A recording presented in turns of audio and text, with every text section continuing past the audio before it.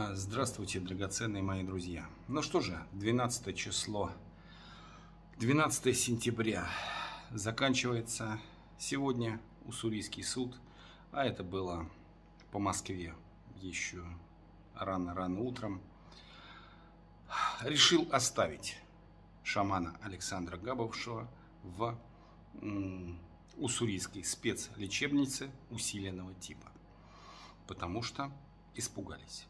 Итак, друзья мои, судья Уссурийского райсуда Татьяна Делигиос, фамилия, друзья мои, Делигиос, Делигиос.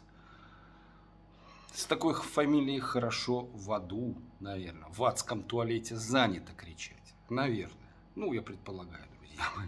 Не знаю, как, если вообще в аду туалеты отказала в удовлетворении ходатайства психбольницы в Уссурийске о переводе якутского шамана Александра Габушева в психбольницу общего типа. Основания пока неизвестны. Видимо, общественная опасность, в кавычках, Александра не позволила его перевести. Ожидаемо, поскольку Приморский краевой суд полтора месяца назад занял аналогичную позицию. Ну, помним мы этого мерзкого прокурора, эту э, дрянь в прокурорских погонах. Ну и теперь мы знаем Таньку Делегиус, тоже замечательная судья, которая эм, побоялась за свою толстую попу, что ее там, так сказать, из судейской мантии вытряхнут и вынесут из этого суда, и она перестанет э, обладать иммунитетом судейским и перестанет получать все льготы и хорошую зарплату.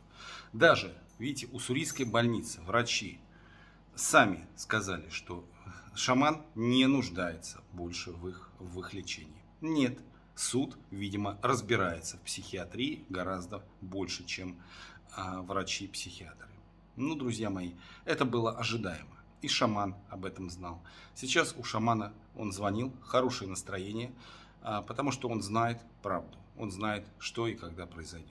Поэтому еще никогда шаман не был так близко к демону да, он очень близко. Его а, рука уже, уже, так сказать, ложится на плечо демону и говорит, пойдем, твое время истекло.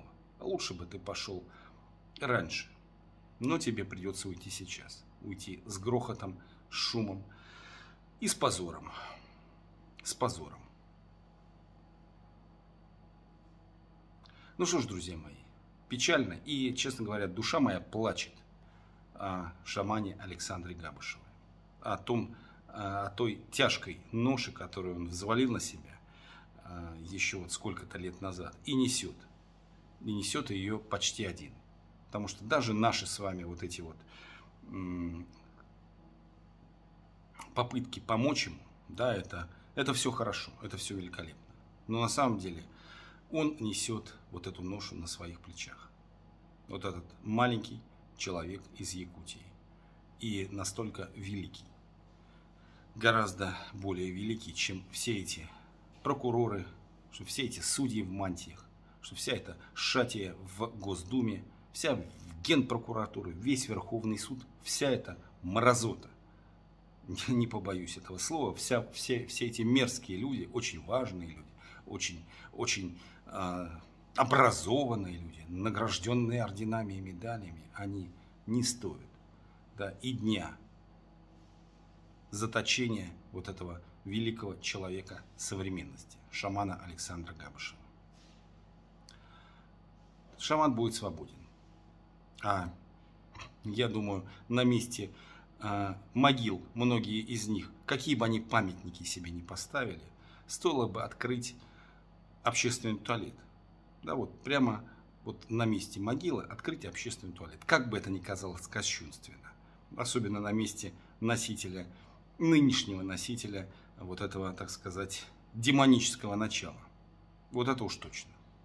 Прямо с мемориальной э, э, табличкой общественный туалет. Даже, может быть, за деньги. Потому что покойный очень любил деньги. И поэтому хотите почтить его память, зайдите и заплатите хорошую цену. Я думаю, найдется очень много желающих. Даже, даже задорого сходить в этот туалет. Кощунство, без сомнения, без сомнения. Но большего, вот большей памяти он не заслуживает. Все, драгоценные мои друзья, пока, счастливо.